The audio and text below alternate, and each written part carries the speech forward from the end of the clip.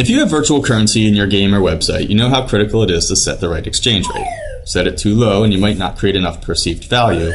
Too high and you'll create inflation. OfferPal's multivariate testing tool lets you find the sweet spot that gets you the highest revenues and most balanced economy. Setting up your A-B test is easy. Just enter a name for the experiment, decide how long you want it to run, and choose how many variables you want to test. You can run a simple A-B test, or enter two variables along with the control to run a three-way ABC test. For this demo, we'll run a 15-day A-B test with the control exchange rate at 2000 to 1 and another at 1800 to 1. Click Start and we're underway. For the next 15 days, half of our traffic will get the higher exchange rate, while the other half gets the lower rate. The reporting lets us compare the results as the test goes along.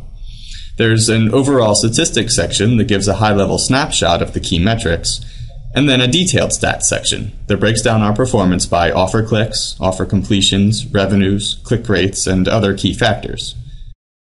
The metrics that have improved are highlighted in green, while those that have declined are highlighted in red. This data tells us that while we got slightly higher click rates and completion rates with the control group, the revenues per click and per unique visitor were higher with the alternate exchange rate.